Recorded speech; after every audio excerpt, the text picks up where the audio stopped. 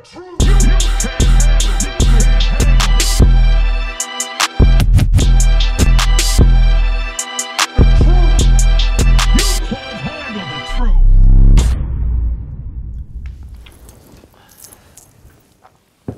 Torbjørn. Tak skal Velkommen til fronten. Tak. Du er søn af tidligere øh, toprocker øh, Torben Olsen Jensen. Mm. Også øh, måske lidt bedre kendt som Suzuki Torben. Mm-hmm. Du har selv været tidligere medlem af Banditos, men nu også som titlen som opfinder. Ja. Du har opfundet en maskine, der, som du kalder Supercutter. Mm-hmm. Kan du fortælle lidt om den? Ja, men øh, det er jo i forbindelse med, at jeg ligesom skiftede lidt bane, kan man sige. To måneder uddannelse. Og undervejs i den her uddannelse, der havde vi et fag, der hed teknologi, der handlede om nytænkning og udvikling. Øh, egentlig et fag, jeg tror, man bruger til at få unge mennesker til at tænke lidt ud af boksen. Og øh, i det her fag, øh, mange synes, du var lort og et spild af tid, men jeg brugte egentlig faget på en god måde. Så jeg begyndte at sidde og tænke på, hvad kunne jeg udvikle, hvad kunne jeg gøre bedre i faget. Øh, og murfaget er et fag, der er, altså, hvor vi nok nærmest er 200 år tilbage i tiden. Altså, det, det har ikke rigtig udviklet sig. Øh, så jeg begynder at sidde og tænke på, hvad kan jeg ændre, og hvad kan jeg måske gøre bedre for faget. Og der finder jeg så ud af, jamen den her måde, du ligesom klipper sten på i dag, du, du klipper en mursten ad gangen til et kæmpe byggeri, som det vi sidder i her. Øh, og og vi, når vi får en palle ud med sten på, så står der otte på en række. Så i stedet for at du tager en sten ad gangen og klipper, så tænker jeg, hvis vi tager vores stentang og kan tage alle otte, putte ind i et magasin, og så klippe dem på præcis det mål, du har, så klipper vi altså øh, otte gange hurtigere end den måde, du gjorde før. Og det er, det lykkes. Jeg prøvede at sælge ideen til, til den virksomhed, der havde den klipper, der har været i, i 30-40 år nu. Ja. Og de troede ikke på, at det kunne lade sig gøre. Altså, at maskinen kunne blive opfundet, Ja. og den rent faktisk ville virke i praksis. Ja, ja. Så han sagde nej tak, og så kørte jeg hjem fra Nordjylland, og så tænkte jeg, at det skal, det, det, det, selvfølgelig kan det lykkes. Så, så vi arbejdede på det i fire år, og i dag er maskinen ude og virker. Har du fået... Har han, øh, er han vendt til, tilbage og ligesom for at, at Nej. høre noget mere om den? Eller? Nej, fordi det blev først offentliggjort for en uge siden på den der Fredericia Byggemesse. Og der har han så været med ind over en ny idé, hvor de har lavet en klipper, der klipper en sten ad gangen stadig, men på el. Den klipper bare alt for langsomt. Så alle de folk, der ligesom var på messen, kom over til os og sagde, det der det er fucking genialt. Fordi det går hurtigt, det andet det, det er både for dyrt og det går for langsomt. Så man kan sige, at vi har lavet noget, der ikke øh, fandtes før, og noget, der er hurtigere og nemmere, og det, det, det er guld værd for håndværkerne, fordi det, de tjener flere penge på den måde. Nu er det cirka en uge siden, at du lancerede den. Mm. Har der været nogle henvendelser? Eller, eller Ja, nogle, meget. Der har har, været stor interesse. der har været stor medieinteresse, mm. har jeg lagt mærke til. Mm. Ja, og der har været også, øh, vi fik solgt nogle på messen, øh, og, og, og været stor efterspørgsel på. Altså, vi har jo ikke, produktionen er først lige startet op af maskinen, så man kan sige, når den ligesom er ude og klar til salg, jamen så vil der være helt klart mere, men der er masser, der ligesom er blevet skrevet op og klar til at købe, når den er. Det er der. Ja. Så du har allerede solgt de Ja. første maskiner. Ja. Tillykke med det. Tak. Fedt, Torbjørn. Nå, men vi starter lidt fra begyndelsen af. Mm-hmm. Jeg kan forstå, at du er fra øh, 86 af. Ja. Du er født i Køge, Nej, jeg er født på landet, nede på Stævns. Stævns. I en lille landsby, der hedder Klippinge, med cirka 500 mennesker og en lille landsbyskole, hvor vi måske var 140 elever. Hvor borgerligt.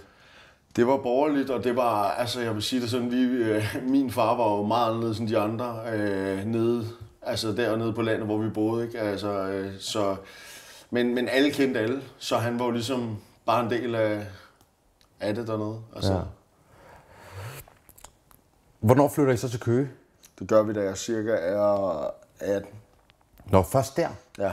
Okay, så du vokser, du, du vokser op nede på Jeg Stævns? er vokset op nede på landet, Okay. Men min far er faktisk i mellemtiden flyttet og bor faktisk med en kæreste. Øh, Jeg tror, de bor lidt rundt omkring, men blandt andet i Brøndshøj. Og, og der er han i Banditos i Copenhagen. Så man kan sige, at i starten af, eller midt 2000, og cirka 2004-5 stykker, der, der er han rykket øh, mod Køge. Okay. Øhm, Vokser du, så, du vokser op med din mor? Du siger, jeg, er vokser op, jeg vokser op med min mor ja, nede Mor. på landet, og, og bor der indtil cirka 17-18 år. Okay, så, så, så, så, så din, din far og mor bliver skilt. Hvor, hvor gammel Der er du? i? fem, Du er fem? Mm.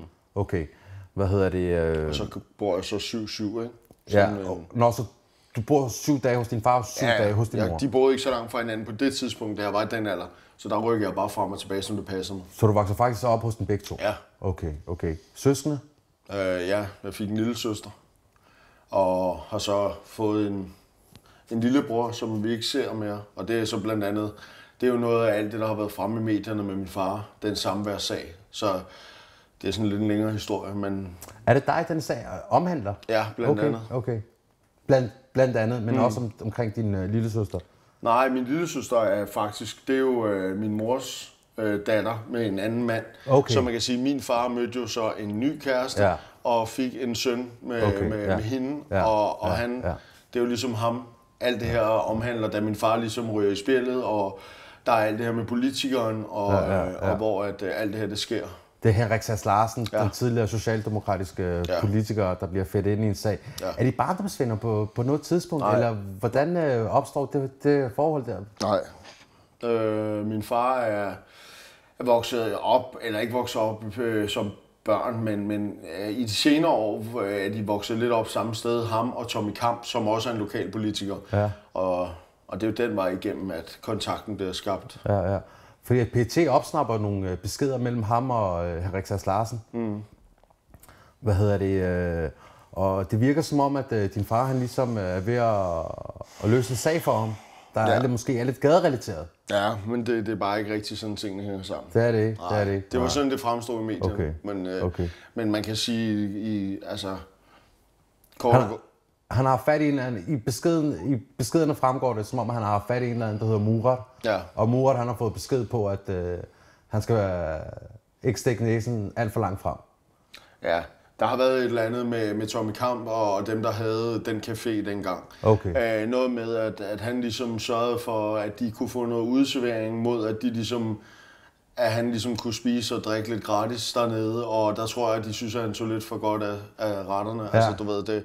Så jeg tror, der var en lille twist omkring det, så vidt jeg ved. Og, Okay. og så bliver der jo noget ballade, og så er det jo så en dag, at, øh, at efter ligesom de er blevet uvenner, så øh, tror jeg en dag, at Tommy Kamp føler sig troet i kø, og så vælger han jo så at ringe til min far, som så kommer, øh, og jeg aner ikke noget om, at Henrik Sass sidder der. Og der sidder de jo bare og har en samtale, fordi min far på samme tidspunkt har en sag kørende øh, med PET omkring øh, hans søn, som er blevet fjernet. Hvem er det, der tager det billede? Fordi de får taget et billede øh, den, den Ja, det, det ved jeg ikke rigtigt om det. Øh, som ender i Ekstrabladet. Ja, og jeg ved faktisk ikke, hvem der har taget det, men så vidt jeg sådan har fået at vide, mener jeg, at det er en lokal fotograf, der også kører noget. Nu kan jeg ikke huske, hvad han hedder, men en nede for Køge. Okay. Jeg er lidt interesseret i at vide, øh, hvordan øh, du selv husker, at du klarer dig i folkeskolen. Ja, men det kan jeg egentlig godt svare på. Ja. Det sjove er lidt, at øh, jeg var egentlig en, en øh, forholdsvis... Øh, jeg var ikke, en, jeg var ikke øh, sådan en øh, bogorm. Øh, det kan man ikke sige. Nej. Øh, men jeg var heller ikke en rod. Det var du ikke? Nej, min var ikke far forstyrrende gik? Nej, slet ikke. Min far var, øh, min far var utrolig, øh, øh, hvad kan man sige, han var meget streng angående, at jeg i hvert fald skulle passe med skole. Jeg skulle lave mine lektier. Ja. Og han har faktisk altid været meget sådan, du skal behandle andre mennesker godt. Øh, men du skal heller ikke finde dig noget. Øh, og sådan var det også lidt dengang i skolen. Altså, at jeg, jeg havde det godt i skolen, og jeg kunne godt lide at gå i skole, og jeg havde det godt med mine venner, og, og du ved. Så jeg var ikke et forstyrrende element, og jeg var heller ikke sådan en, der var røg ind og ud af klasserne, og ikke kunne finde ud af at sidde stille, og, og blev smidt ud, og alt sådan noget. Slet ikke. Altså, Så du trives egentlig meget godt i, Ja, ja. i, i selve folkeskolen? ja, det, okay, og jeg ved egentlig godt, hvornår det stak af. Øh, men det kommer det først lidt senere. Ja, ja. Går du din 9. klasse færdig? Ja, ja, 9. klasse Okay. færdig. Afgangseksamen og det hele? Mm. Okay. Ja. okay. Hvad hedder det? Din far er jo, øh, som nævnt, øh, Suzuki Torben. Mm. Og øh, medlem af Banditos under det meste af din ungdom. Mm. Øh, hvor gammel er du, da han bliver medlem? Kan du huske det? Ja, men jeg har været omkring... Øh, det har været... Altså, jeg er fra 86, så det har været i cirka 2001, at han starter. Ja. Så omkring 14-15 år. Okay. Hvornår og hvordan finder du ud af, at du måske har en lidt atypisk far? Ej, det vidste jeg allerede, for da jeg var helt lille. Altså, det, det vidste jeg. Altså, Ja. for jeg har set mange sindssyge ting i min, i min barndom. Altså, jeg har set hele vores hus være stormet af nærmest SWAT-lignende... Altså, det lignede jo nærmest noget fra en amerikansk film.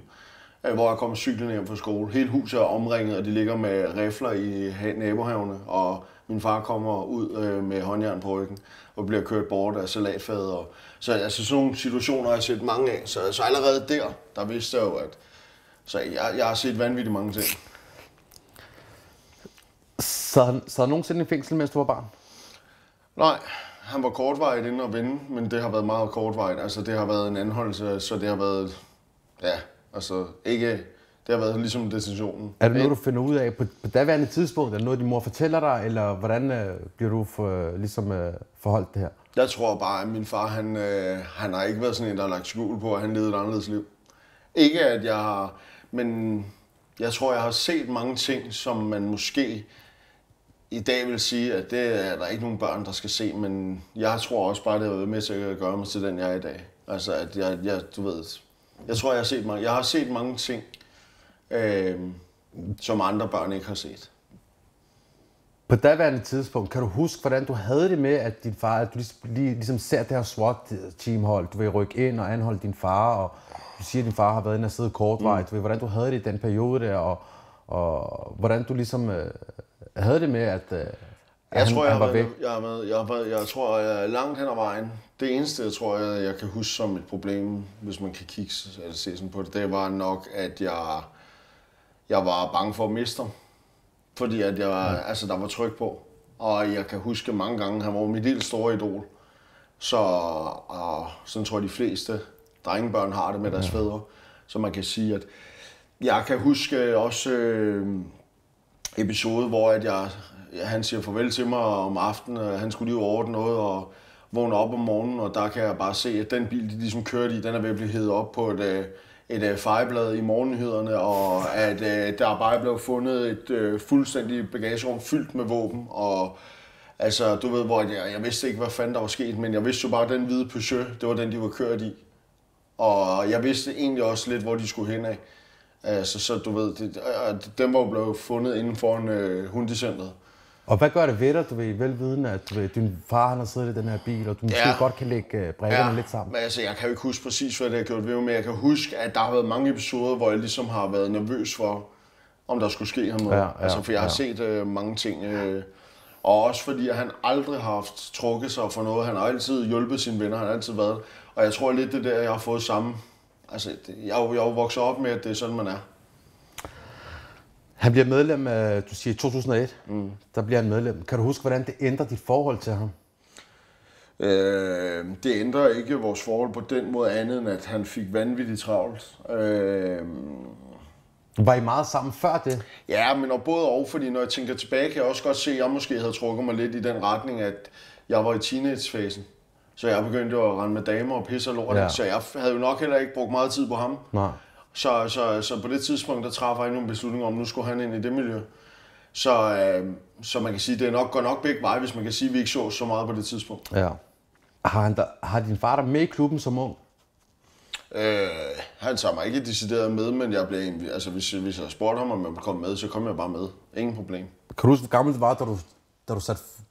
Ja, jeg har været, 15, så jeg har været 16-17 år. Da du, da du ligesom Var- var er der derinde første gang, Ja, ja. ja, ja. Hvad hedder det? Er du bevidst om, hvad det er for en klub, du er? Er du bevidst om, du ved, den krigshistorik, som Banditos har i den kriminelle underverden på det her tidspunkt? Eller hvordan ser du på klubben? Hvad associerer du klubben med de første par gange, du er der? Mm. Jeg vidste godt. Jeg vidste godt, hvad det var, fordi at fra der var helt lille af, der har været flere forskellige ting. Øh, øh, der har været flere forskellige ting, hvor at, man kan sige, venner og bekendte har været hjemme hos min far, hvor øh, altså, du ved, de alle sammen havde med det miljø at gøre på en eller anden måde. Så jeg har jo fra jeg var lille af hørt omkring det her miljø, så jeg vidste udmærket, hvad det var for et miljø. Det vidste du godt. Ja, ja.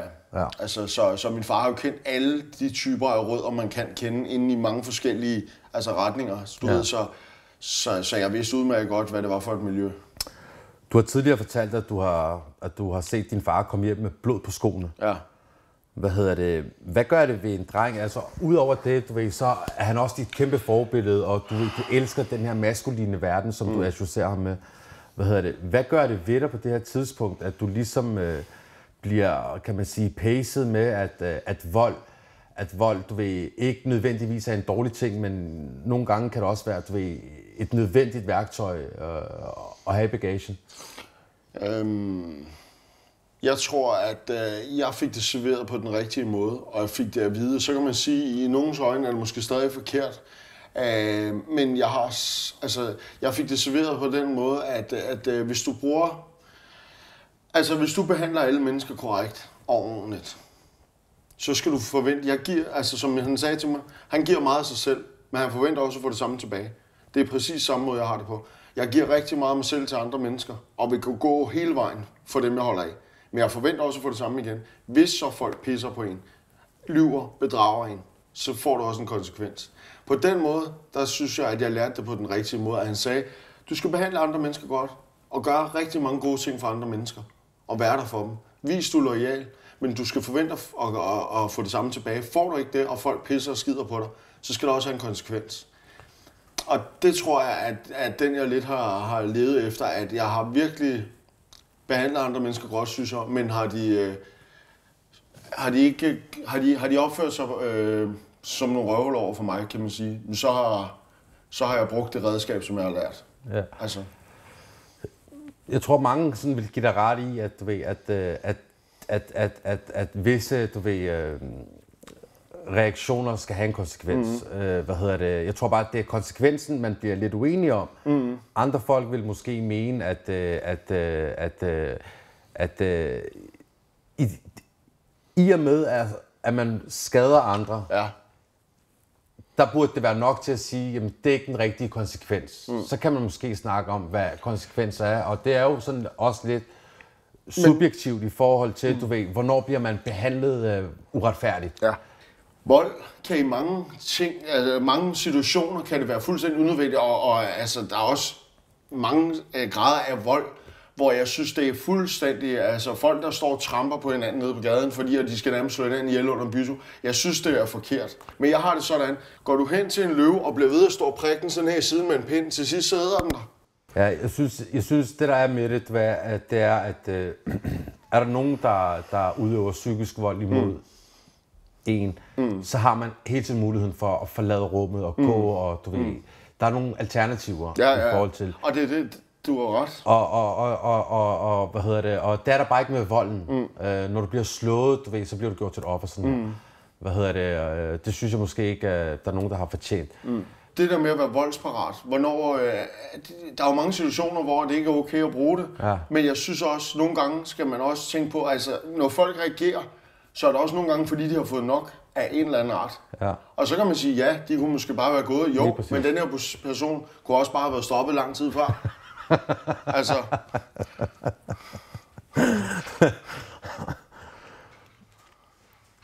Kan du huske, hvad det første, du bliver taget for af politiet? ja, det har helt sikkert været øh, vold. Det har det. Mm. Kan du huske, hvad det er for en episode? Uh, ja, det tror jeg faktisk godt, jeg kan. Vi boede nede på uh, landet, nede på Stævns, røvkæder som unge drenge. Vi uh, drak, mig og en kammerat, nok hvad der svarede til næsten en flaske absint. Hvilket er et ekstremt stærkt spiritus. Det var næsten rent spiritus. Du kan sætte ild til det. Uh, og vi blev fuldstændig vanvittige i hovedet af det.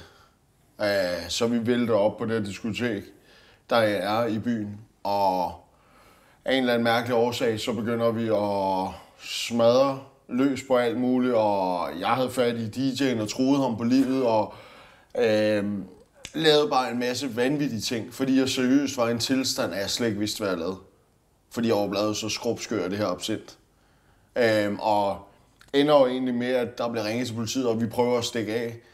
Øh, de løber efter os, og min kammerat, han, øh, han sprang ind over noget hegn og var bare væk lige pludselig. Og jeg kunne hverken, altså jeg, jeg kunne dårligt løbe, fordi jeg var så fucking stiv. Så jeg ender jo bare med at blive anholdt og taget med, og vågner op dagen efter rigtig skidt tilpas. Om at så ringe til min mor og sige, øh, kan du ikke komme og hente mig, mand? Jeg ligger ude i Køge på politistationen.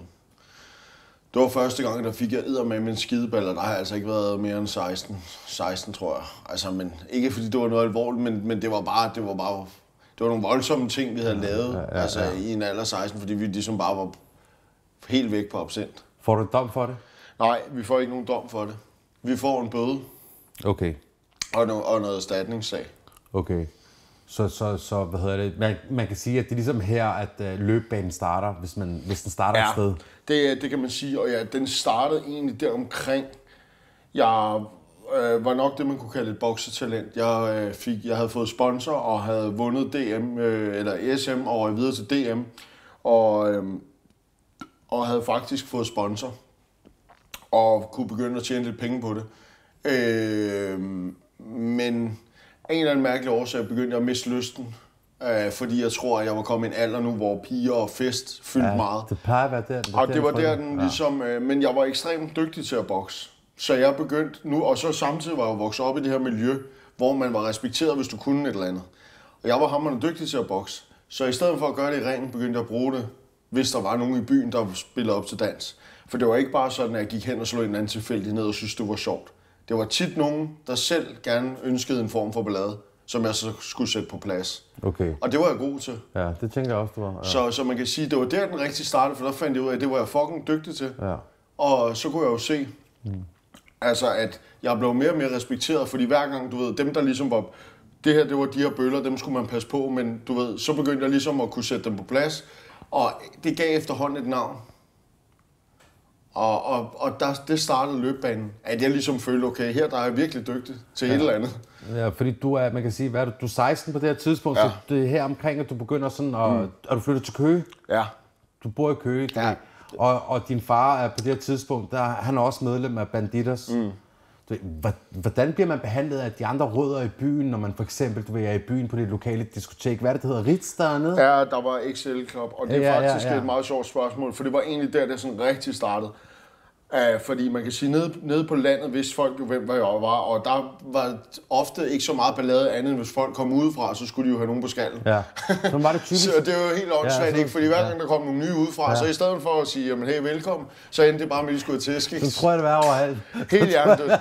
Så man kan sige, at, øh, at øh, så rykker jeg til Køge, og øh, da jeg kommer til Køge, der var der bare mange, der havde meninger om min far.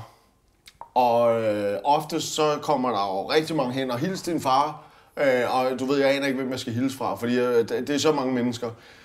Og der er så også den type, der lige skal vise sig, fordi at det derovre, det er Suzuki Torbens søn. Ja, Og, og, og, og den, den person, eller de, den slags menneske, løb jeg ind i mange gange.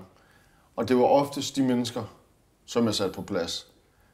Fordi at de skulle prøve mig af. Fordi de, hvis nu, altså, det, det, var, det var sådan nogle situationer, dem var der mange af. Og det var egentlig sjovt, fordi jeg tit og ofte skulle præstere et eller andet, eller skulle høre på folk, fordi min far var, hvem han var. ja. Vi har jo haft vi, vi, Brian Sandberg, som er kendt mm. for selv at have været rocker i en lang periode hos HR'erne. Mm. Hans søn har jo måttet skifte efternavn mm. på grund af mobning og, mm. og andre ubehagelige ting i forbindelse med det liv, hans far han har levet. Mm.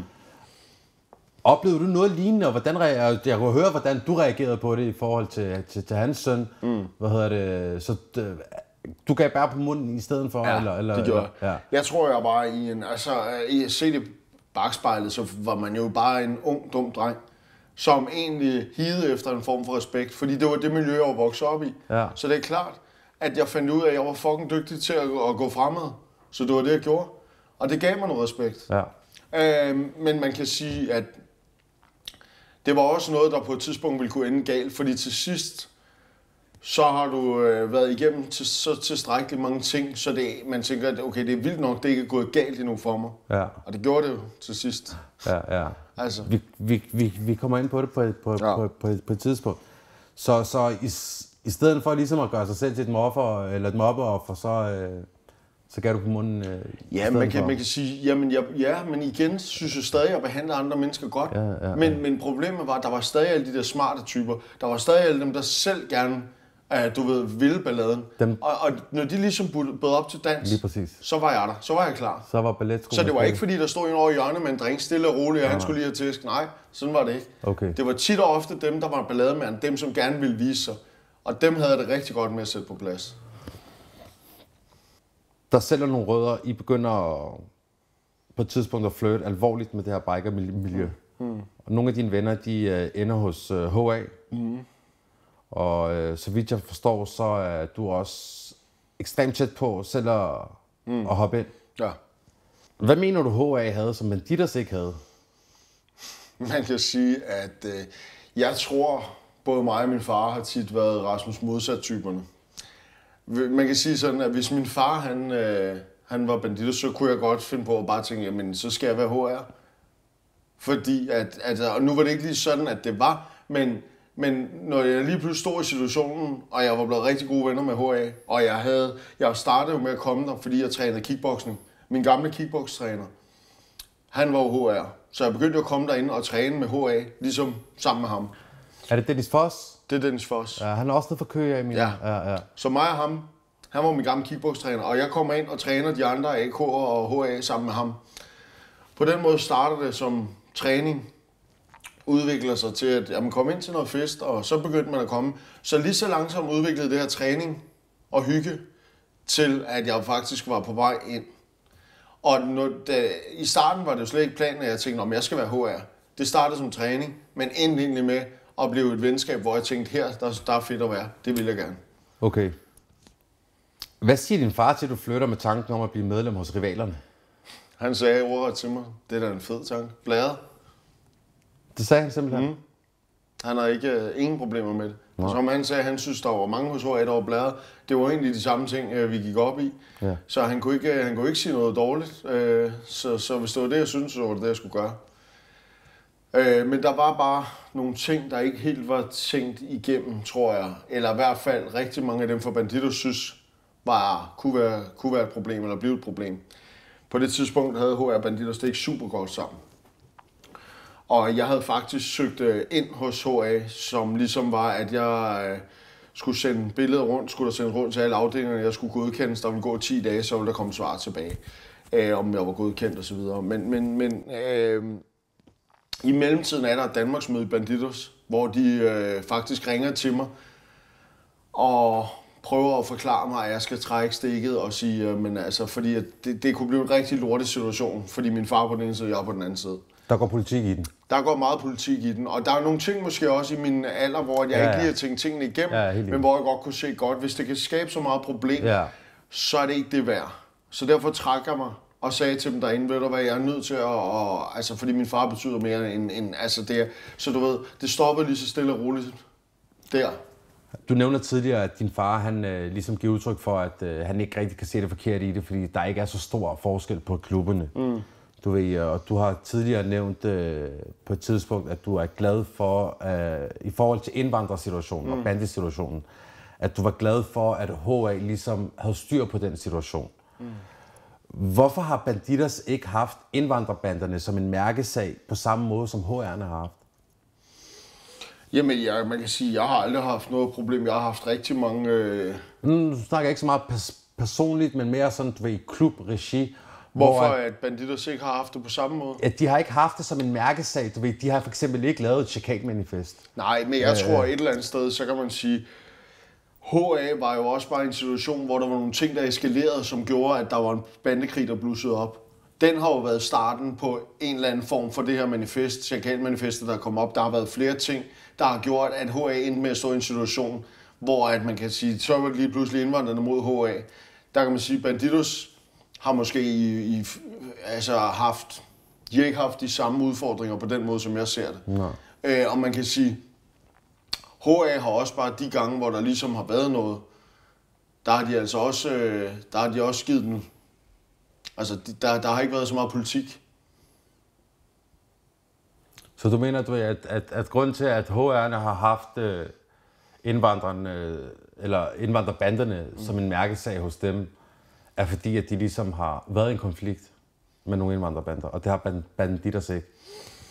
Nej, det, ja, det er egentlig nok øh, sådan, det har været. Altså, de, de, de, øh, der har jo været nogle konflikter, som HA i hvert fald på intet tidspunkt har haft øh, interesse i at nok øh, løse politisk, hvis man kan sige det sådan. Ja. Og, og der er jo ikke rigtig nogen af dem, der har sat sig ned ved et bord og snakket om det.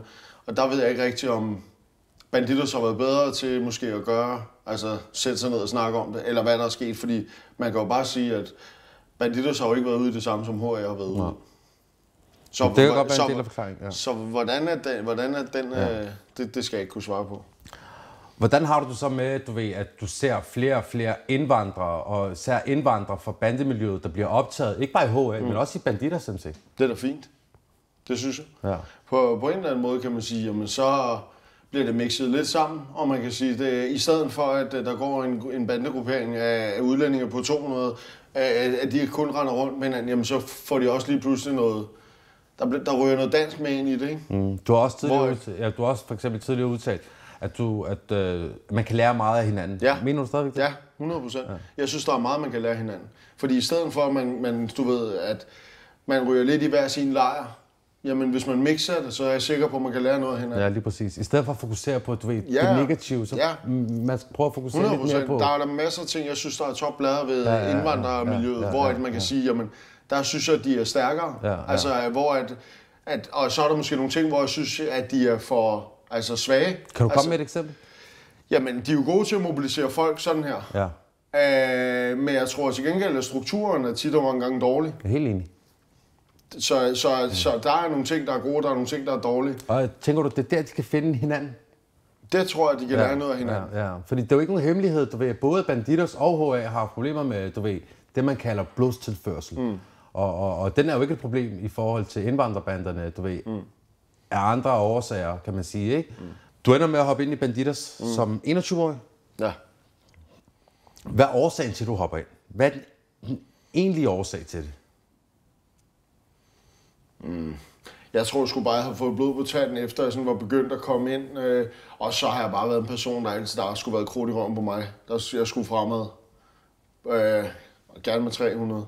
Og du ved, øh, der tror jeg, at da jeg som 21-årig kunne se, okay, jeg, jeg var virkelig... Øh, boksningen, den kørte, den var jo sådan ligesom ry, den var rykket i byen, og der kunne jeg se, at jeg var begyndt at bygge det her navn op, øh, hvor, øh, og, og du ved, der tror jeg bare, at så lige pludselig, så kom jeg ind og lærte dem at kende i klubben, og, men så skete alt det her med HA, hvor det ligesom gik lidt i sig selv, og så røg jeg jo så til Banditos, og der kunne jeg jo også godt se, at jeg kunne bruges til noget.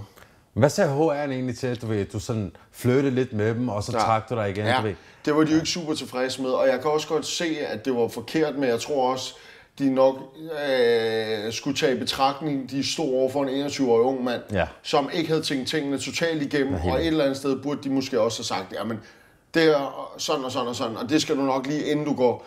Og jeg burde måske også have brugt hovedet bedre. Ja. Men man står over for en knæk på 21, der måske ikke er helt øh, udviklet op i roen endnu. Fra, fra da du starter som prospect i klubben, til du bliver officielt medlem, hvor Ja. lang tid går der? 18 måneder. 18 måneder. Mm. Halvandet år. Ja. Og nogen, der vil mene, det er en kort tid.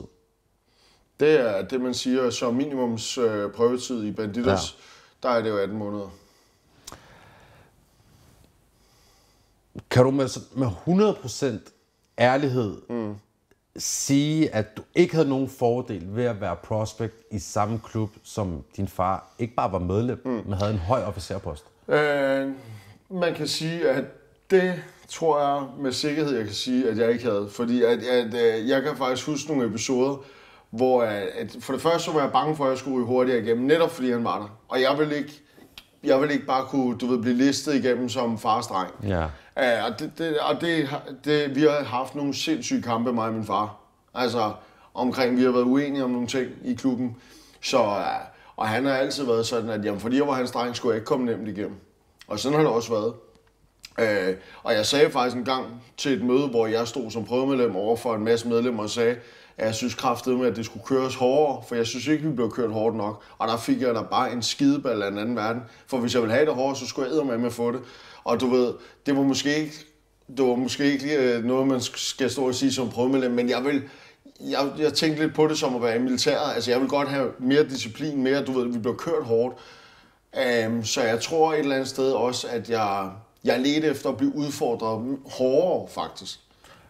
Handler det måske mere om, at du gerne vil presse så hårdt, at der ikke rigtig er nogen, der efterfølgende kunne sige, Torbjørn ja. havde lidt et på grund af... Det, det tror jeg faktisk, ja, du ja, har kan ja, ret i. ja, ja. At, at det har nok Men- noget at gøre med, at jeg egentlig gerne vil vise mit værd, uden at det skulle hedde sig, at jamen, det er Torbens søn, Ja, ja, og han er bare kommet igennem. Mm. Så det kan du godt have ret i. I den proces der, der tænker jeg også, at du sådan må have været villig til sådan at stille dig du ved, i fronten, når der skulle ske et eller andet, ja. I forhold til, du ved, jamen, så er det her, jeg har muligheden for at bevise mm. det. Ja. Og du måske har sat dig lidt mm. i en større fare, end nødvendigvis. Ja. Jeg gjorde måske også nogle ting, som øh, man, øh, jeg, jeg, man, man kan sige, jeg gjorde i hvert fald nogle ting, som man normalt ikke bare selv, altså jeg tog nogle beslutninger som prøvemedlem, som man normalt ikke bare, øh, men det var fordi jeg tænkte, at hvis jeg gør det her, så tænker jeg, altså, så, det tror jeg inden de vil blive glade for. Ja. Det var ikke altid, man fik ros Nej. for at tænke selv. Vi kommer ind på det lidt senere, hvor jeg gerne vil høre lidt mere om, du ved, hvordan, du ved, at man forholder sig til, hvad, hvad de andre medlemmer i klubben tænker om en. Hvad er din, hvad er din værste oplevelse som prospect? Eller den, du ved, din, det værste, du har været igennem som prospect? Hvor du bare tænker på, at det altså kommer aldrig til at ske igen. det kan jeg også godt fortælle dig. Det tror jeg var en tur til... Øh, altså at, at blive slæbt igennem ture til udlandet, og alt muligt andet, når man bare fucking ikke gider. Og jeg blev engang slæbt med til Norge for at være der i tre timer, men den hjernestøds, øh, hvad hedder det, tandpine. Og min far, vi var i en minibus, og jeg sagde, "Men kan jeg ikke blive hjemme? Nej, jeg skal med. Du skal, altså, du skal med, fik jeg at vide. Så siger jeg, jeg har fucking tandpine, mand. Jeg kan ikke være i mig selv. Nej, det er vi skide på. Det er obligatorisk. Så jeg røg bare med til Norge i en minibus, hele vejen derop, ja. for at være der i tre timer, for at skulle køre hjem igen. Og jeg havde så ondt, så jeg kunne slet ikke være i mig selv. Det var nok en af de gange, hvor jeg tænkte, fuck det her lort, mand. altså, du ved. Så, øh, ja, så, så, så, så, sådan nogle ture, dem har der været nogle stykker af. Da du så får den vest, Ja. hvordan føles det? Det var en sindssyg fornemmelse. Det var jo fedt. Altså, øh, men men det, det er jo også det typiske, da man får den. Det er også en blandet følelse, fordi da jeg skulle have den her vist, der, får jeg, der bliver jeg først trukket ind til et møde, og får at vide, at de skal snakke alvorsord med mig. Ja, Der får jeg en kæmpe skideball, og bliver bare bedt om, at nu skal jeg bare fisse ud over den det der. Og jeg løber nærmest ud i bilen, og jeg er rasende. Jeg er seriøst ved at brænde sammen i mit hoved. Og lige der på vej til at hoppe ind i den her bil og bare køre derud af, så river de døren op, og så får jeg bare smidt den der vest i hovedet.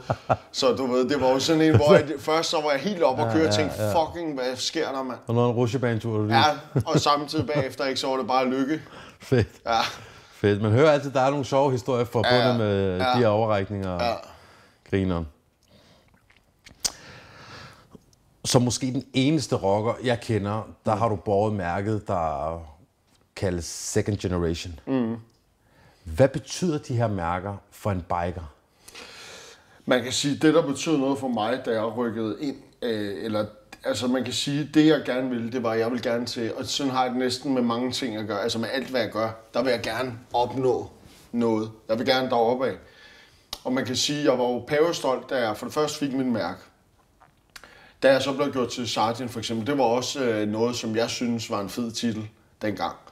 Øh, så fik jeg TCB-mærket, Kan og du- så fik jeg Second Generation. Kan du forklare seerne, hvad, hvad, hvad, hvad, hvad det betyder at, få et, at være sarge i en klub? Jamen sergeant, det er jo, altså, øh, folk kalder det jo en krigsminister, men jeg vil sige det sådan, det er også lidt en problemløser. Det er jo, det er jo en mand, der, der tager møder. Øh, Er der problemer derude, jamen så er det ham, der tager ud og ligesom har kontakten med de andre mennesker, får stablet et møde på benene, sørger for, at tingene bliver løst. Er der en konflikt, jamen så, så det, det er jo, Hvor, hvor, stiller dig, hvor, hvor, hvor placerer det dig i hierarkiet i forhold til, at der måske kan være 50 medlemmer mm. i en klub, men når du lige pludselig, mange officerposter er der i en klub.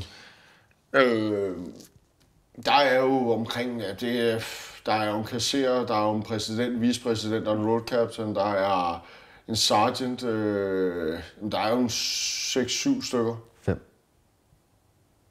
Eller nej, jeg tror, der er seks. Ja. Seks med road cap'n, ikke? Jo, Jo. ja. Og man kan sige, det gav lidt sig selv. For eksempel lad os nu sige, at i Køge, hvor jeg kender alle mennesker, hvor jeg er over- eller hvor jeg i hvert fald er opvokset og har kendt alle rødderne i mange år, der ville det give god mening, at jeg sådan, sådan en som mig, for eksempel var sergeant, fordi jeg kender alle, så skulle der blive opstå et problem, så kan jeg trække nogle tråde, så er problemet hurtigere løst. Altså, så, så det giver lidt sig selv, hvem der skal have hvad for en titel.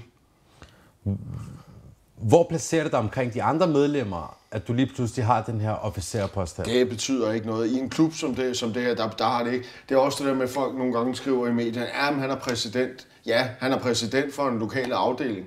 Det gør ham jo ikke til mere end, end de andre medlemmer. Det gør det ikke. Nej, du, altså, du, øh, man kan sige, der hvor jeg gerne vil hen, Der, hvor jeg synes, det var fedt, det var for eksempel at have TCB-mærket, som jeg synes var fedt, fordi dengang, det blev jo kaldt lidt taken care of business. Der var det, du kalder klubbens, øh, altså du var, du var jo en problemknuser. Du skulle opstå der et problem internt i klubben, så var du en af dem, øh, ligesom i gamle dage, der sagde med os, jamen det var jo præsidentens, øh, altså kokken, nu var det så Jim dengang, men hans livvagter, ikke? Altså, du, du tager med på ture og passer på og så videre. Øh, så det er Taking care of business. Det var et af de mærker, jeg var stolt af at have. Og så selvfølgelig second generation. Skal man være en hø eller en due for at bære mærket TCB? Der skal du i hvert fald være klar. Du skal være en hø. Ja. Det nytter ikke noget at give den til en due. Nej, det tror jeg ikke. Det gør- det tror jeg ikke, du får noget ud af. Okay. Når man er i de her klubber her, så følger der et regelsæt med de her veste. Ja. Et regelsæt, som man ikke rigtig kan afvige fra, uden det har alvorlige konsekvenser for mm. en. Hvordan oplevede du at skulle definere dit liv efter det her regelsæt her? Lå det der Det passer mig perfekt. Det var helt perfekt. Ja, og det var egentlig en af de ting, jeg godt kunne lide. Der var noget struktur, der var nogle regler. Og man kan sige, ude i det virkelige liv, jeg, lad os antage, at en af mine kammerater skulle bag min ryg knippe min kæreste. Jamen, så er der ikke de store konsekvenser ude i det normale liv. Men gør du det inde i sådan en klub, der er du sikker på, at du har en andens ryg. Og sker det, så har det en alvorlig konsekvens. Det kunne jeg godt lide. Ja. Det tror jeg, der er mange mennesker, der er enige med dig i, hvad hedder det, især folk, der lever det her liv her. Mm. Det jeg tænker mere på, det er, lad os nu antage, at øh, vi er med i samme klub, og mm. vi er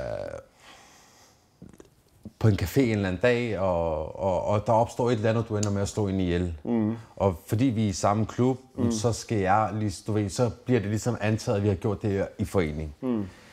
Der er jo nogle regler med omkring, du ved, jamen, øh, vi, der er ikke nogen, der må stikke, der er ikke nogen, der må snakke med politiet, osv., osv.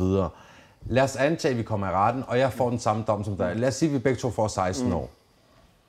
Hvor er min gulderråd som medlem i at følge det her regelsæt, og ikke, du ved, at holde mig til de regler her, efter jeg har afsonet de her 16 år? Mm. Hvilken gulderråd vil der så vente mig på den anden side? Men man kan sige, vente om at sige, jamen så vi to i byen sammen, vi var i samme klub.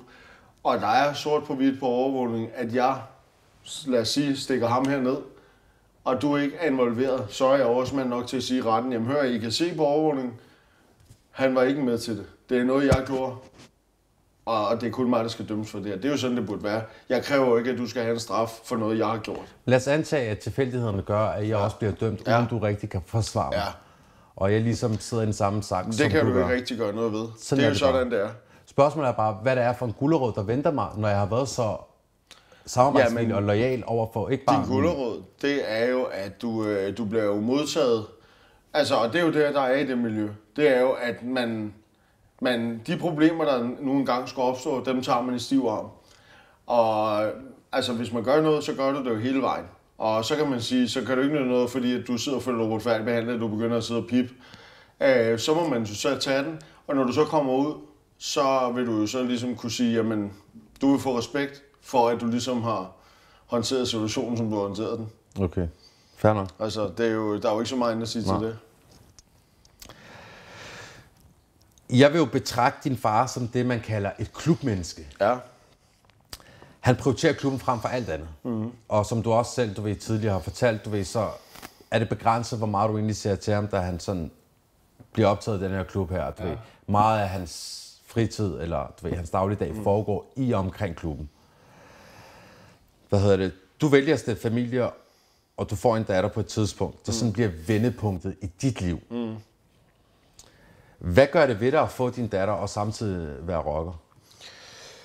Egentlig ikke det store på det tidspunkt, for der tror jeg sgu ikke, øh, jeg, altså...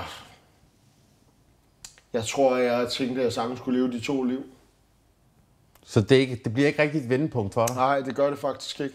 Hvornår bliver det et vendepunkt? Det gør det nok først alvorligt, da jeg bliver stukket ned. Er du medlem af klubben der? Nej, der, men der var jeg så der var jeg stoppet et halvt år før cirka. Hvad er det, der gør, at du stopper?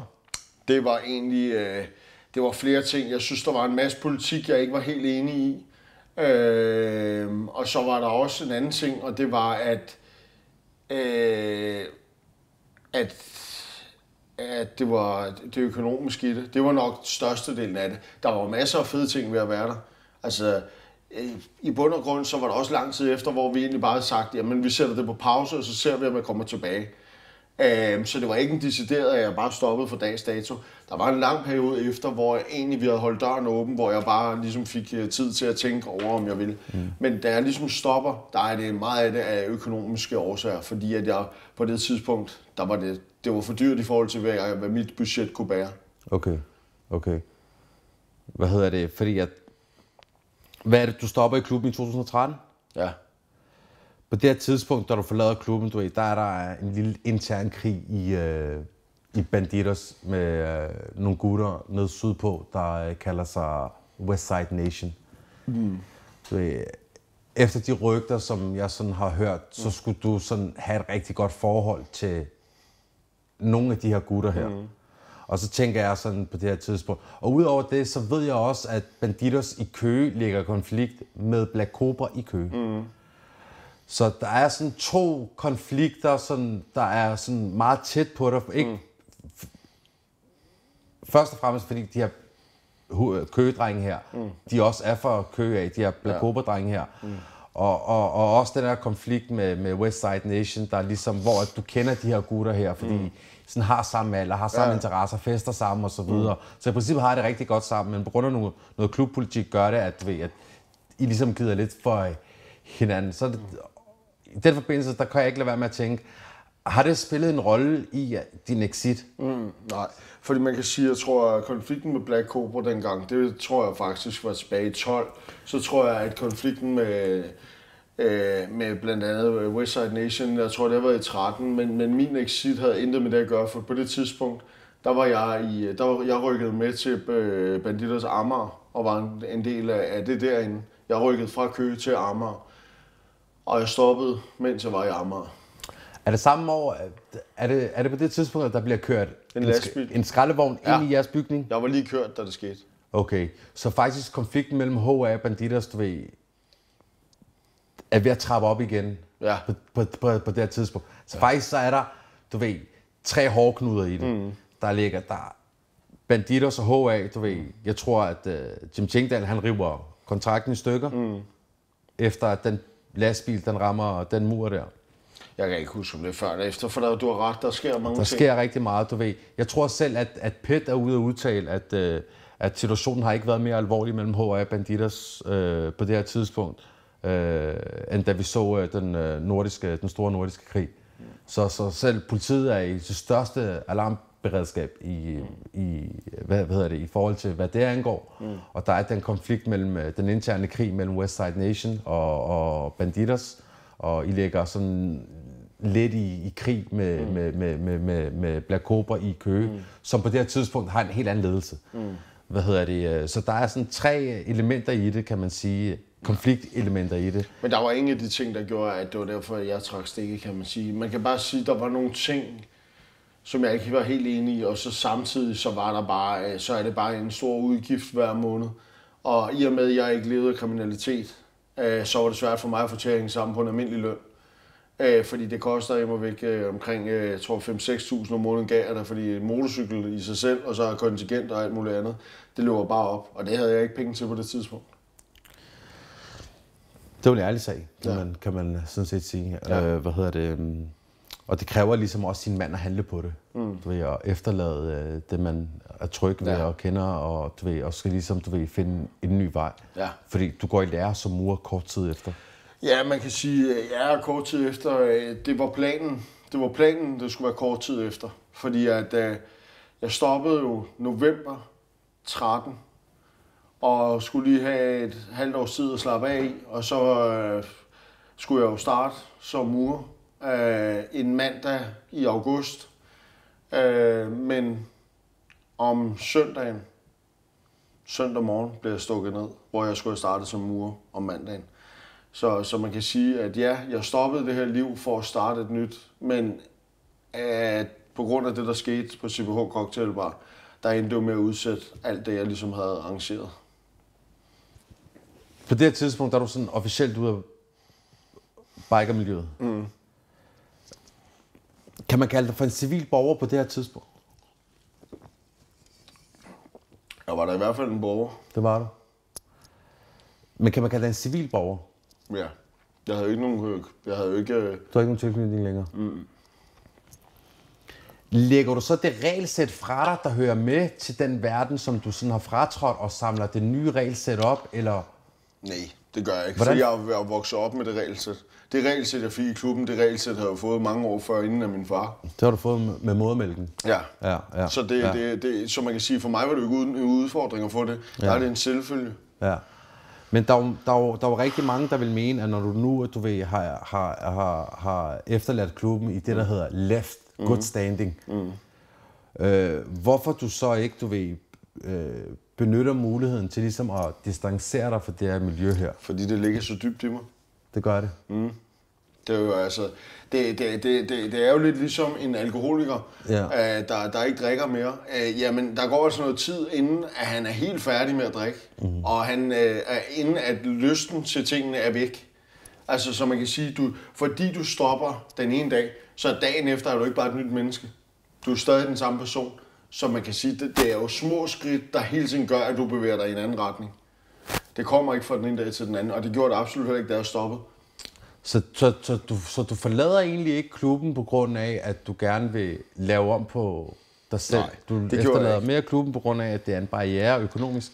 Ja, både det, men også bare samtidig, så tror jeg, at, at du ved, der var, der, igen var der jo noget politisk, jeg måske ikke var, altså du ved, der skete bare mange ting i mange retninger, ja, ja, ja, hvor ja. jeg ikke var enig i alle tingene, og det er jo heller ikke, fordi man skal være det, Nej, men nej. der tænker jeg bare, fint, så er det måske bedre, at jeg ikke er der. Altså, så du tænker i ren klubpolitik, hvor du bare ikke er enig imellem. Det ændrer jo ikke på din egen måde at, at være Nej, på. ja, lige præcis. Altså, man kan sige, at- ja, og, og at du stopper i, i det miljø, gør der jo ikke, øh, fordi da, da jeg trådte ind i det miljø, havde jeg jo ikke en eller anden forestilling om, jamen nu skal jeg være en anden person, fordi nu skal jeg ind og være rocker. Og på samme måde, da jeg stopper, går jeg jo heller ikke med en tanke om, jamen nu stopper jeg, nu skal jeg være en anden. Nej, jeg har været mig selv hele vejen igennem. Det er bare fordi, at nu bruger du det der med alkoholiker. Du ved, før en alkoholiker ligesom kan blive øh, alkoholfri, mm. så skal han ligesom indstille sig så på at ændre sin sig tankegang. det. Yes, lige præcis. Giver det mening? Ja, det gør det, men i og med, at jeg ikke gik ind i klubben for at tænke, at jeg skal være kriminel, så behøver jeg heller ikke, for eksempel, da jeg var på vej ud og tænke, at nu skal jeg være normal. Nej, hvis jeg har været mig selv hele vejen igennem, Ja. så har jeg ikke behov for at ændre noget. Og så har jeg heller ikke et behov for at tænke, jamen, jeg skal ændre mig for at være en normal borger. Nej, fordi jeg har levet, som jeg har gjort hele tiden. Også jeg var banditos. Dengang, da jeg var, inden jeg startede i klubben, der havde jeg et arbejde, tjene penge og hygge mig med mine venner og familie. Da jeg startede i klubben, gjorde jeg stadig det samme. Og da jeg forlod klubben, gjorde jeg stadig det samme. Så jeg har ikke ændret nogen ting. Jeg har ikke ændret noget mønster. Så man kan sige, jeg har ikke behov for at ændre noget. Og da jeg stopper, har jeg heller ikke tænkt, okay, nu skal jeg bare være fuldstændig... Men, men det kan jeg godt forstå, undskyld, jeg afbryder, ja. men, men, men det, der undrer mig så, det er, hvorfor vælger du så en, en, en, en bikerklub, der hedder Banditas eller, eller, mm. eller HA? Hvorfor vælger du så ikke en, en helt almindelig motorcykelklub, hvor at I kan blive ved med at, at, at, at mødes nogle drenge, køre på motorcykel, hvis det er det, jeg har lyst til, feste og hygge, mm. og du ved, men, du, men det er bare, et- man skriver sig bare op til noget andet, når det HR Banditas, mm. at man melder sig ind i. Mm. Fordi der er jo masser af motorcykelklubber, hvor Der du kunne varetage den her Ja, en, en, men en der- interesse. Men der har du 100%. bare stadig ikke. De, de principper, jeg er født og opvokset med, det er nogle principper, de to klubber blandt andet kører efter. Så derfor passer jeg rigtig godt ind der. Hvor mange andre klubber kører måske en mere loose politik. Så det, det, det er nogle klubber, der, der giver sig selv, det, det, det er den retning, jeg skal gå i, hvis jeg skal være et sted. Og så har jeg det igen sådan, jeg gør ikke noget halvt. Altså, jeg, det var det, jeg skulle være. Altså, Okay. og ellers skulle jeg ikke være nogen steder. Som du har nævnt et par gange, så, så ender du i byen øh, kort tid efter, at du har forladt klubben Ja. sammen med nogle venner. Kan du fortælle om den aften? Jamen, øh, det kan jeg godt. Uh, jeg ender jo på nogle forskellige bar med en øh, kammerat, og, og vi øh, ryger lidt rundt inde i midtbyen, og ender jo øh, til sidst ud på morgenen på et værtshus øh, inde ved, næsten inde ved Hovedbanegården, CBH Cocktailbar. Og der, der opstår et problem derinde. Sådan lidt ud af det blå som jeg egentlig forsøger at stanse, som jeg ser det, til at starte med. Men, øh, men der får jeg noget smadret i hovedet, som jeg husker det, som gør, at konflikten bliver optrappet. Og der sker nogle ting inde på den her bar, i hvert fald, som er... Det, det eksploderer sådan her. Hvad er det, der leder op til det? Jamen det er jo, øh, det, det, det er jo, jeg tror det er en, øh, det er jo en basal, jeg tror det er fuldskab blandt andet imellem to mennesker. Det er, det er jo faktisk to mennesker, der har været i, i øh, altså det, det er jo nogen, vi har været sammen med hele aften. Som lige pludselig. Hvor mange er I derinde? Vi er vel i alt omkring 15, vil jeg tro. Men, men er, det, er det, det, det er en gruppering?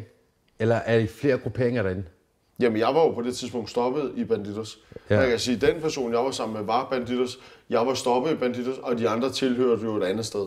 Hvor mange var din kammerat sammen med, som du sådan ligesom, du ligesom har været med i det entourage der? Jamen, det var mig og ham, og så har de vel været 13.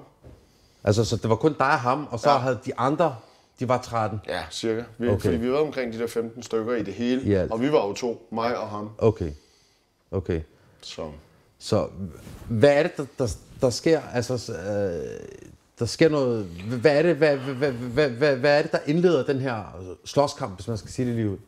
Jamen, det kan jeg jo dårligt svare dig på, fordi man kan sige, det som, det som jeg ved, og det som jeg kan huske, er, der er blevet drukket tæt hele natten. Øh, og, og lige pludselig er der to mennesker, der står nærmest bare og stiger på hinanden. Og grunden kender jeg ikke. Men lige pludselig, så er jeg konfronteret den ene den anden. Og der starter det. Første, det er jo første step på vejen til, Ja. til ballade. Og så er det så, jeg kommer hen, og så er det der, at der sker nogle ting, hvor jeg dårligt kan forklare, hvad rækkefølge tingene sker i. Men det går eddermame stærkt, Okay. og så eksploderer det. Og bliver til sådan en western slagsmål. Jo. Og hvad sker der under det western slagsmål? Jamen, der sker jo det, at jeg, øh, jeg går jo i forsvar. Øh, og det gør de jo også, øh, men vælger at trække knive. Og der er det jo så, at jeg kan, jeg kan jo ikke selv huske, jeg kan jo ikke selv huske at, jeg bliver, at jeg bliver stukket med knive, men nu har jeg jo set øh, kamera- og videoovervågningen, hvor man ser, og det, der er det jo en, en øh, vanvittig film at se, fordi det, det er dig selv, der spiller hovedrollen. Det er jo som at se en actionfilm, hvor du bare selv spiller hovedrollen, hvor du ser, at du selv bliver gennemhullet af knive. Altså af brystet, maven, siden. Du ser en, en, en video, der er fuldstændig vanvittig voldsom, og som øh, vækker et eller andet ind i dig, når du ser den.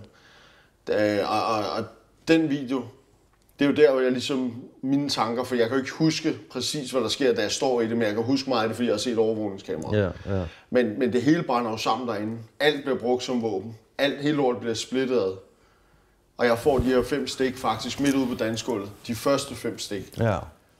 Og, og der er det sådan, vi tumler rundt derinde. Og jeg bliver dårlig. Så løber jeg ud. Og der bliver jeg jo fuldt efter. Og så får jeg fem stik til udenfor. Og der, der til sidst, altså jeg kommer på benene igen derude. Og kæmper faktisk videre med dem ude på gaden. Og der har jeg jo så fået de her 10 knivstik. Og det vælter ud af mig. Og der kan vi så høre sirener på et tidspunkt. Så de løber, og der står jeg alene, øh, uden trøje på, bare mave, øh, min, min jeans har jeg på og sko. Og da jeg går hen over gaden, der kan jeg for det første se, at mit, øh, jeg har det her ar her på brystet, øh, som er vidt åben, og det sover så bare ud. Og jeg gør ikke noget for at stoppe det, men til sidst så kan jeg bare høre, at min sko siger... Altså fordi min, min sko er fyldt med blod, så jeg har sop af mit eget blod. Og der kan jeg se, mine bukser, de er jo helt røde, og, og alt, altså jeg er smurt ind. Og der stiller jeg mig op ad en 7-Eleven og kigger ned ad mig selv, og kan bare se, at jeg er stukket alle vejen. Og så går jeg lidt ned ad gaden, øhm, og så kommer der en, der en, der råber, at jeg skal ligge mig ned. Og da jeg ligger mig ned, så, så stikker han en finger i, min, øh, i det her op. Det var det værste stik. Og så siger han, øh, kig op i himlen. Og da jeg så ligger og kigger op i himlen, det var jo en morgen, hvor at det var jo øh, skyfri himmel. Og jeg kunne bare se den der blå himmel. Den blev lige pludselig sådan helt tåget. Og så blev den hvid. Og så to sekunder efter blev den bare helt sort. Så slukkede lyset. Og det er jo så efterfølgende spurgt en psykiater om, hvad fanden var det, der skete der. For jeg kunne, jeg kunne fuldstændig forklare, hvad jeg havde set. Så sagde han, det er det, man kalder en nærdødsoplevelse. Du har været ude på kanten, og din krop reagerer i en choktilstand, der gør, at derfor, det er det, du har set. Jeg har jo, øh, jeg har jo snakket med nogle, øh, med nogle gutter i miljøet. Mm.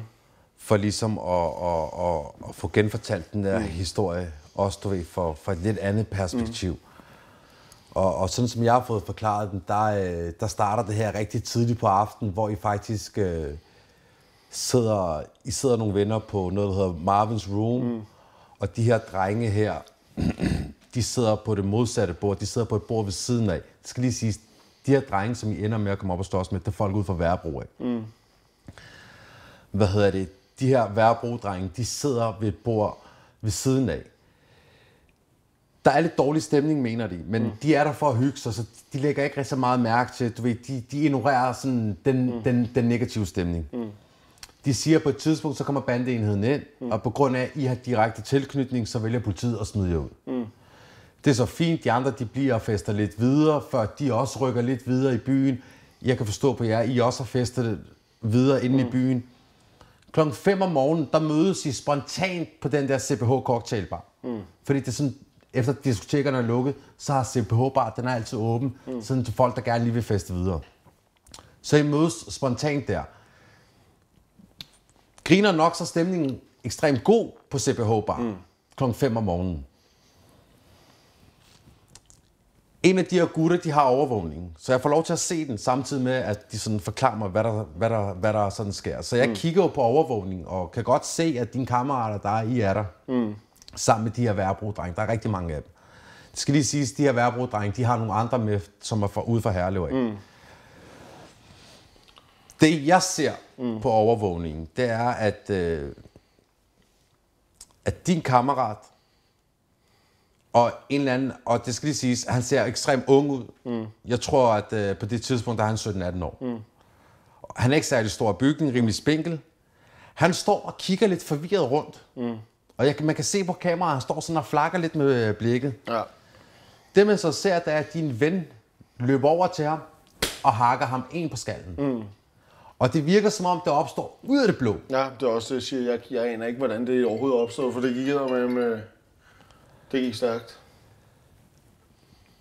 Det man så ser, det er, at nogle af de her gutter her stiller sig op og sådan kommunikerer med ham, din kammerat. Mm.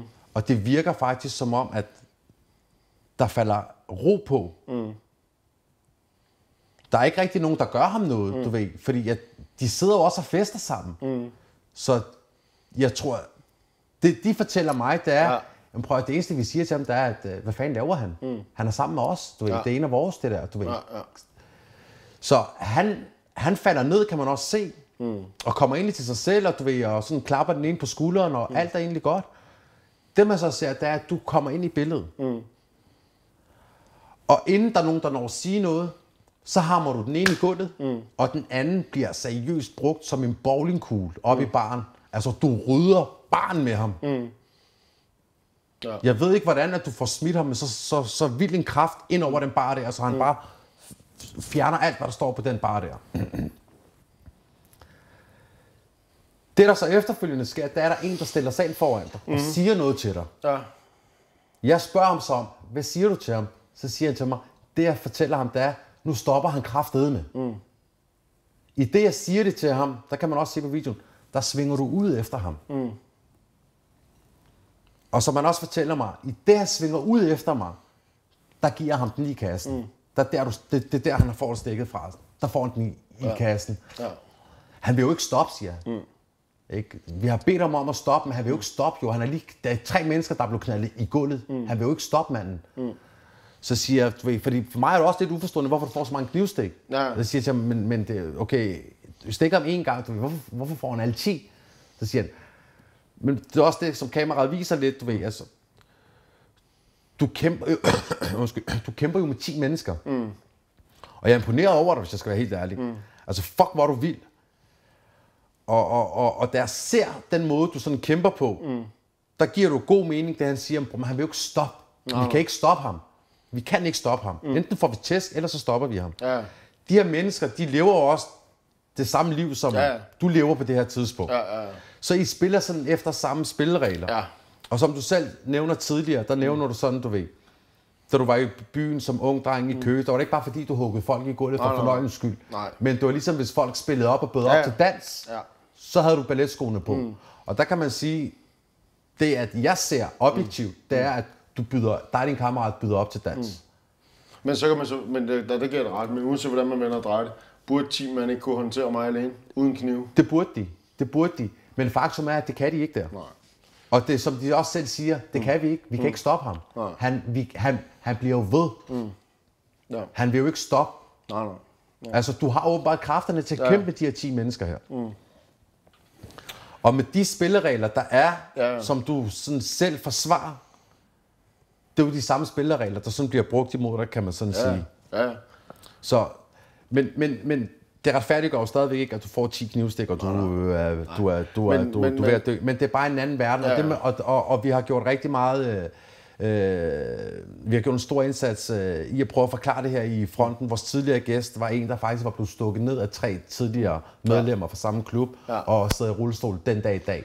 Ja. Og, og, og der har vi brugt rigtig meget tid på at snakke om, at når man er i de miljøer her, mm. og når man er i de her fællesskaber Man her, ved, så bliver der spillet med nogle andre spilleregler, Ja. som herre fra Danmark måske ikke forstår. Mm. Og de her mennesker forventer heller ikke, at de forstår dem, og det er også derfor, man ser, at bander og rockere i stor, stor grad bøjer af i forhold til den offentlige befolkning. Ja. Fordi man ved godt, at de ikke forstår de her spilleregler, mm. man forlanger dem heller ikke. Og de her spilleregler bliver egentlig også bare benyttet i de her fællesskaber, og ikke så meget, du vil ud over det. ja. Så, så, så, så, så, så det er ikke fordi, at vi glorificerer det her eller forsvarer mm. det, men, men i den verden, du lever i, der er det bare sådan, det foregår. ja. Så er det bare sådan, det, det, det foregår. Når, når, når de her mænd, de kommer, bliver uenige, så er det sådan, de klarer jer. Ja. Øh, og, og, og, og det er selvfølgelig øh, ærgerligt, at mm. det skal være sådan. Ja. Hvad hedder det? Øh, men, men, men, men, men jeg kan forstå, er det sådan, du også oplever situationen? Altså, som sagt, så kan jeg ikke huske. Det er, for det første, så har det været, det er 8-9 år siden nu. Så jeg kan ikke huske, at alting gik så stærkt. Uh, det, jeg kan huske, jeg ser på overvågning, det er, at jeg får en flaske i hovedet som noget af det første. Det er sådan, jeg husker det. Og så brænder jeg sammen. Uh, fordi det, som jeg husker, det er, at, jeg, at, at ham, der er sammen med, går hen, og der er noget konfrontation. Der står jeg ved siden af ham. Der står vi og diskuterer, og der bliver skubbet. Mellem de to parter bliver der skubbet, og så skubber jeg en væk, og i det, jeg gør det, får jeg en flaske hovedet bagfra. Og så går det amok. Det er jo sådan, jeg husker det.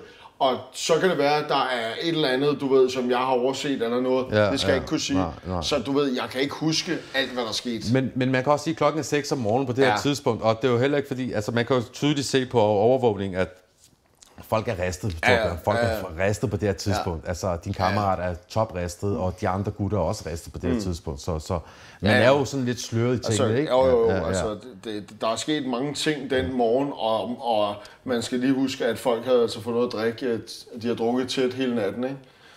Øh, men, øh, men jeg kan ikke huske i detaljer, så øh, Så du, hvem der var, der stak dig? nej. Du så du ikke? Nej, når du står alene, kan man sige, eller når du står på den måde, jeg står med så mange mennesker, så går det så stærkt, at du ser ikke ansigter, du husker ikke noget. Du kæmper for at overleve. Det er det, du... Det, er altså, så, så det er også derfor, jeg ved, jeg vil aldrig kunne sidde og sige retten, det var ham, der gjorde det, det var ham, der gjorde det, det var ham, der gjorde det. Fordi du, du husker ingenting. Altså, hvis du står over for en mand, så vil du måske kunne huske noget, men når du står over for så mange mennesker, så går det, altså, så går det stærkt. Ja. Ambulancen, den kommer, den lander jo så øh, ved siden af dig på et tidspunkt, øh, Ja. ja. og jeg kan regne ud, at øh, lægerne de begynder at operere på dig, så snart du lander derinde, Ja, ikke? Hvad ja, hedder det? Øh, de plejer som regel, du ved, og, og, og, og folk, der bliver stukket ned, dem, dem plejer de at skære op fra maven af, og så op til brystkassen, og så åbne op, Ja. for at se, om der er nogle organskader. Gjorde de også det på dig? Ja. Må vi se ejet? Ja.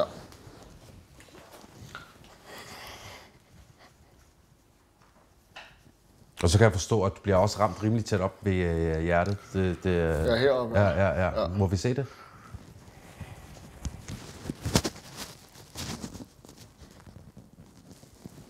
Det er voldsomt, det der, der er der. Det, Ja. ja. det var kæmpestort, var det ikke? Jo. Og så er der jo hernede i bunden af Ja. maven, og her mellem ribbenene. Ja. Så, ja. Det er en voldsom behandling, uh, Torbjørn. Det kan ja. Ja. vi hurtigt blive enige om. Hvad hedder det? Hvor mange sting får du i alt? Mm, jeg tror, jeg får omkring 70. Uh, 70. Mens du ligger og bløder der foran kiosken, foran kiosken eller 7-Eleven, mm. når du så tænker, fuck shit, øh, jeg er ved at dø.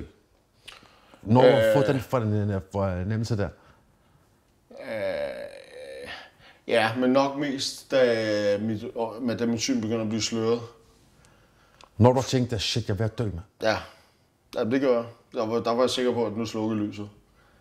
Fordi at, da jeg ligger der og kigger op i himlen, og det hele bliver sløret, og så bliver det hvidt, og så kan jeg bare mærke, at alt forsvinder, og så bliver det sort. Ja.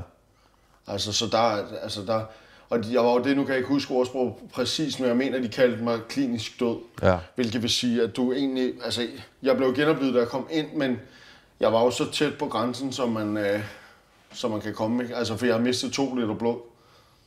Øh, og blev genoplevet, da jeg kom ind. Altså, man kan huske, det, det, det første, jeg kan huske, da jeg kommer ind. Jeg vågner op, da, da jeg blev kommet ud af ambulancen, og der, øh, kan jeg, der vågner jeg op til et skrig. Altså en, der bare skriger fuldstændig vanvittigt. Det er faktisk min barndomskæreste, som øh, jeg har været sammen med, fra jeg var 13 til jeg var omkring 18-19 år.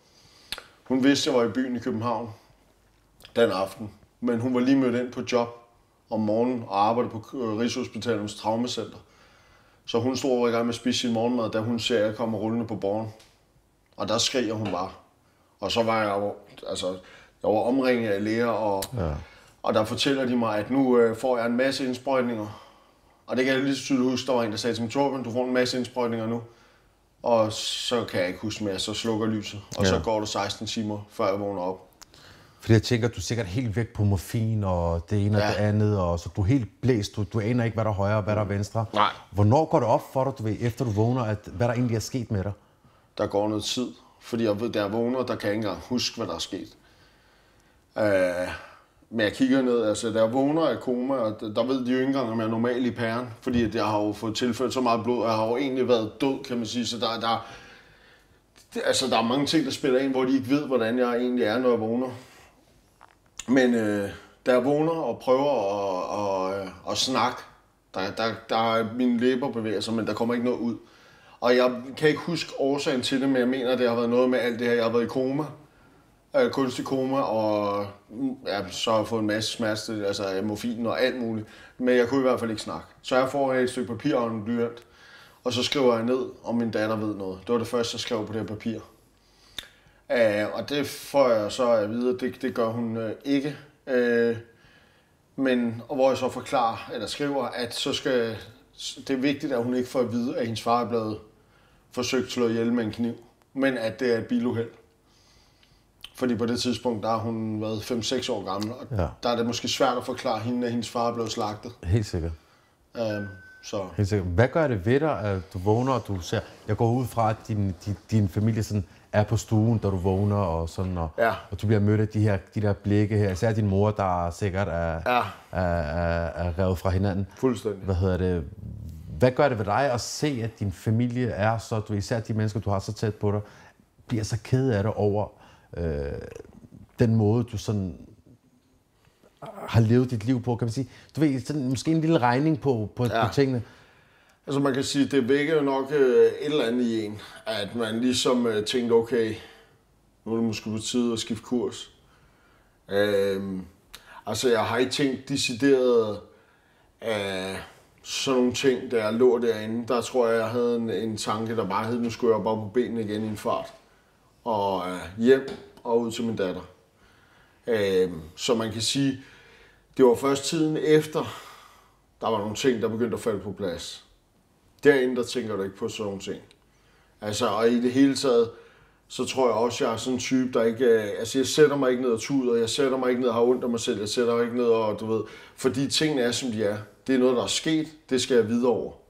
Altså, du ved, så for mig handler det lige så meget igen om at overleve.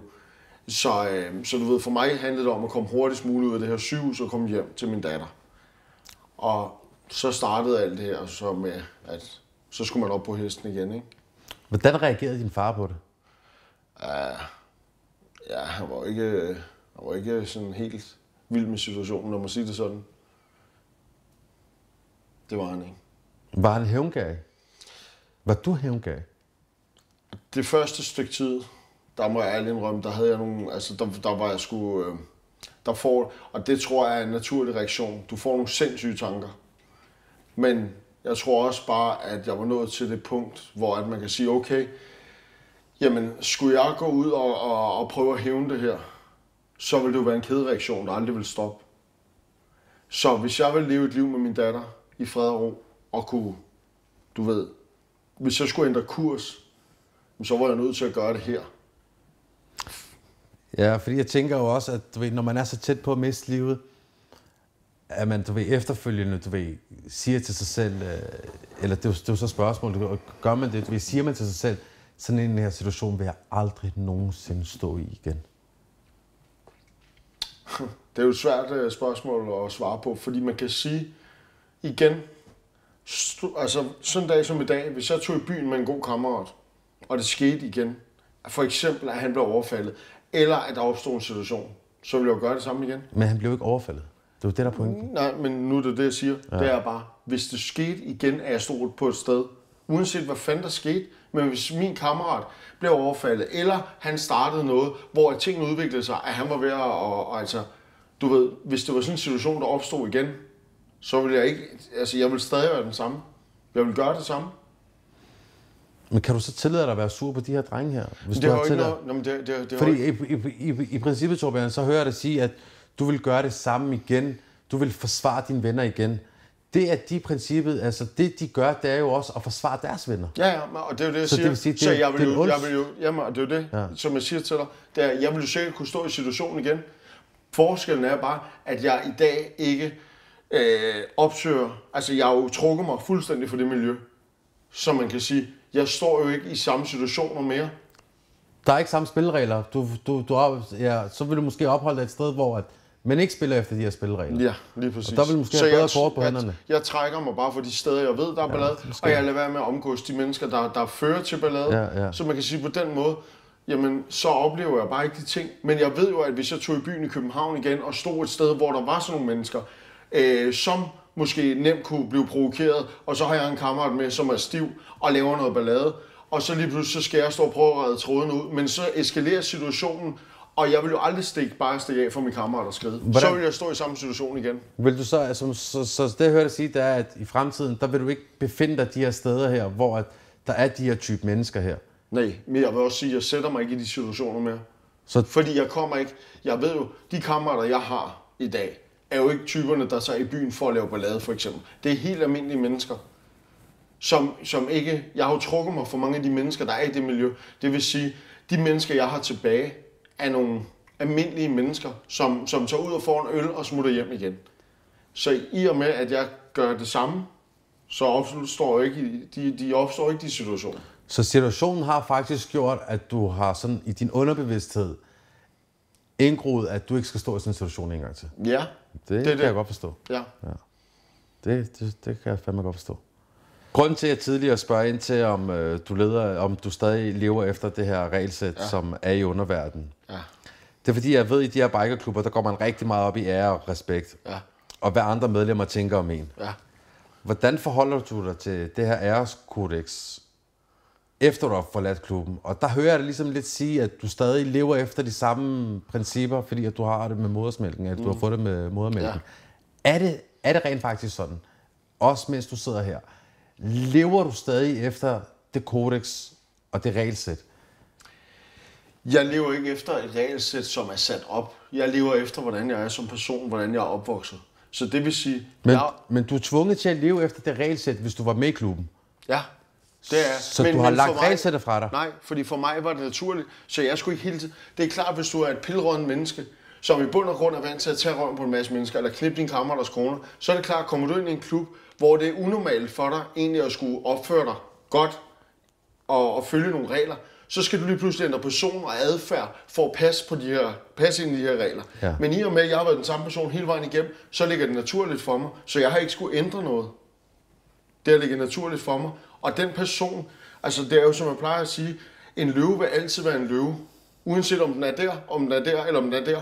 Og du, de har det jo på samme måde, at, at den måde, jeg er vokset op, og er blevet op, altså opfostret til at være, jamen den person var jeg, der var i klubben, men den person er jeg stadig. Så, så jeg har ikke ændret mig, jeg har ikke ændret tankegang. Betyder det noget for dig, hvordan at dine gamle brødre i klubben tænker om dig den dag i dag? Nej, det er jeg ligeglad med.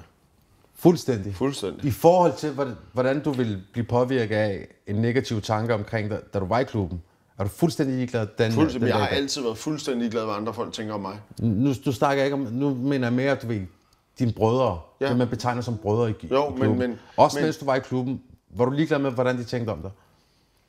Jamen ja, det jeg har altid været ligeglad med, hvordan okay. andre folk tænker om mig. Okay. Fuldstændig. Jeg har ikke noget, altså jeg er som jeg er, og kan folk ikke lide det, ja. så, så skal de jo finde nogle andre at være sammen med. Ja. Hvordan vil du definere ære og respekt?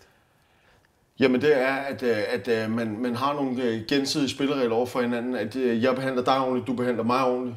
Uh, uh, hvad hedder det? Vi går jo ikke bag, i, bag om ryggen på hinanden. Uh, og det er jo sådan nogle enkle, uh, meget, meget simple regler, men som der alligevel er mange, der ikke kan finde at leve efter. Du tidligere blev spurgt omkring det her med ære og respekt i et andet regi, hvor du svarer, ære er, at man ikke sælger sig selv, hvis du forstår eller svigter sine venner. Man er der for dem, man elsker. Det er også det. Det er, det er lidt samme svar på to forskellige måder. Føler du dig svigtet af dine venner? Uh, jeg vil sige, at der er nogle situationer, Og nu, nu, nu, nu, nu, nu har jeg faktisk lyst til at være sådan, måske lidt direkte. Mm. Føler du dig svigtet af de venner, du var i byen med den aften?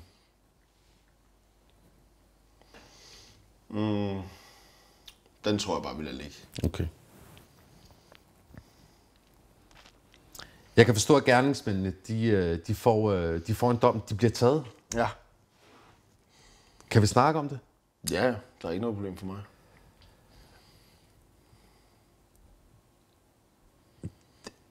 En af de her regler i det her regelsæt, det er, at man ikke snakker med politiet. Mm. Og så vidt jeg hører, så har du ikke, øh, du ved, du giver en udtalelse, mens du ligger på hospitalet, de har alligevel overvågning, og politiet mm. vil jo gerne have en udtalelse fra dig. Det er jo mm. klart, det er dig, der er offeret. Mm. Så den udtalelse giver du. Da I så kommer i byretten, mm.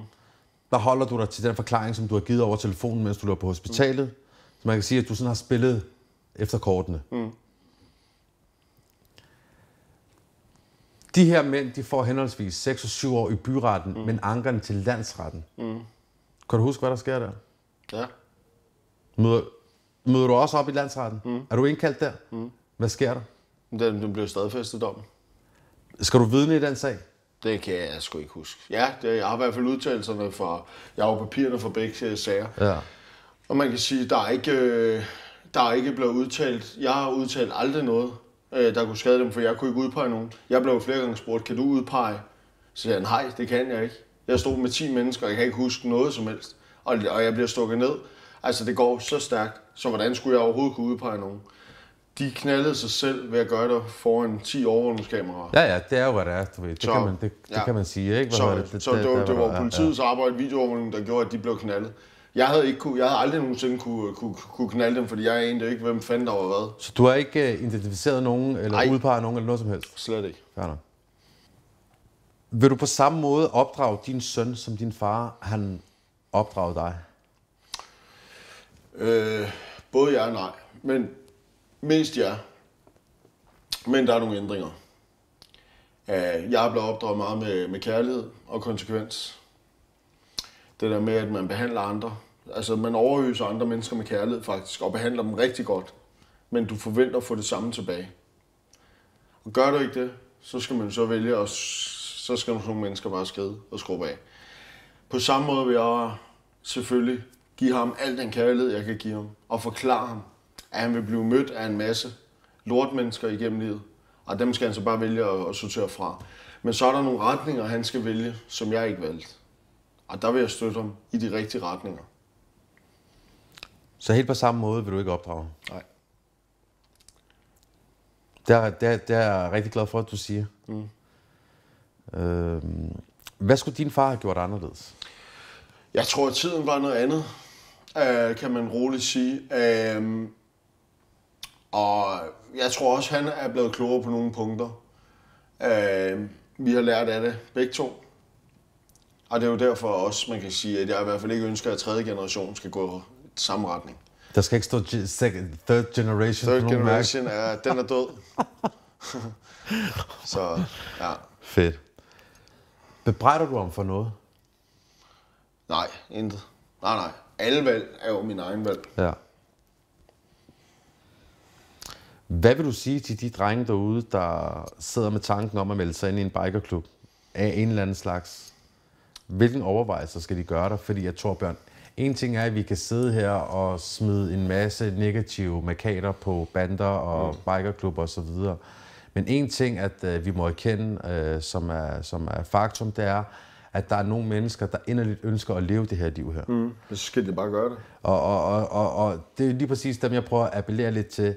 I forhold til de drenge, som er fast besluttet på, at det her det er det liv, de gerne vil leve, og de er villige til at leve under de her spilleregler og tage konsekvenserne af dem. Mm. Hvorfor et råd vil du så give dem? Mm, jamen, så vil jeg nok sige, at hvis de er fast besluttet på, at de skal gå i det miljø, så vil, er det banditter eller HL, skal man Det er fuldstændig lige meget. Det er, det er over hele linjen, okay. at hvis man vælger at gå ind i det miljø, så i stedet for at tro, man er en fandenskal med det samme, du træder ind, og bare moser frem, så uh, brug følehornene, og så tag tingene stille og roligt. Fordi hvis det er, at du er fast besluttet, og i din iver det første år eller to bare moser du og gør en masse ting måske, der går, hvor det går for stærkt, så kan man sige, de kan bare ende i en situation, hvor de ikke tænker over, om det kan være et andet sted om 10 år. Og, og, og man kan så sige, jeg synes, jeg har brugt tid på at finde ud af langsomt hen ad vejen, hvordan at jeg skulle komme frem og uden at få gjort nogle dumme ting. Fordi det er jo ingen hemmelighed, at rigtig mange af de unge mennesker, der træder ind i en klub i dag, vælger at måske satse så meget på kort tid, og egentlig ender med at få en livstidstom, for at de gerne vil frem i systemet. Og det kunne være, at altså, det er bare, der er nogle gange, hvor jeg tænker, det går lidt for stærkt. Så der tror jeg måske bare at diskutere, og måske lige sådan bruge hovedet en enkelt gang, øh, og sådan tænke lidt mere over tingene, end bare dagen efter. Altså du ved, tænke lidt længere ud i fremtiden. Fordi at tit og mange gange, så er der nogle mennesker, der sætter sig i en situation, øh, og det kan være fem minutter stumhed, der gør, at de skal sidde inde i rigtig, rigtig mange år. Og, og hvis det er den vej, man gerne vil, og man er villig til at tage 16 år for... Altså, så skal man jo bare gøre det. Men så ved man også, at der er en konsekvens.